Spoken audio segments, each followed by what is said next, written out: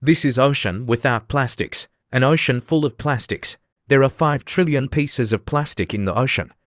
Every year, 8 million tons of plastic enter the ocean, and the number is increasing day by day because globally, we produce more than 300 million tons of plastic waste each year. Because of this, plastic in the ocean kill or harms the marine animals more than 300,000 every year, and it is increasing every movement. Once the plastic is in the ocean, it decomposes very slowly, breaking into tiny pieces known as microplastics, which can enter the marine food chain and become incredibly damaging to sea life.